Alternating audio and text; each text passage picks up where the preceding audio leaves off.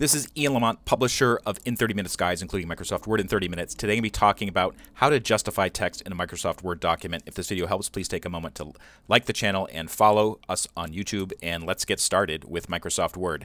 This is Microsoft Word for Microsoft 365, the Mac OS version. The Windows version works exactly the same. For the book, we tested both versions. Uh, the interface is the same for this particular feature, which is really easy to use. And basically what we want to do, we have this transcript, and you can see on the left side the text is very evenly, evenly lined up with the margin, but on the right side it's really rough. It's like kind of bumpy because the text isn't stretched out all the way. The technique to stretch out the text so it's going from the left margin to the right margin is called justifying the text. That particular feature is on the Home tab of Microsoft Word, and you'll find it in a button if you hover over it, you can see it says justify.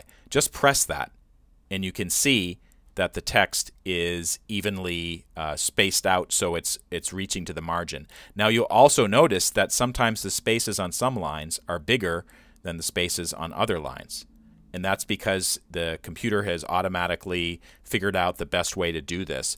If it doesn't look quite right to you, there's some things you can do. For instance, you can maybe uh, bump a, bump a word. This is a long word, and bump it to the previous line. And the way you do that is you press uh, Shift and then Return or Enter so it kind of it goes to the it, it basically creates a soft break and you can see that now FamilySearch is on the previous line and the spacing looks a little bit more even. There's other tricks that you can do. We talk about them in the book Microsoft Word in 30 Minutes by author Angela Rose. It's been updated for Word for Microsoft 365, which is the subscription version of Microsoft Office.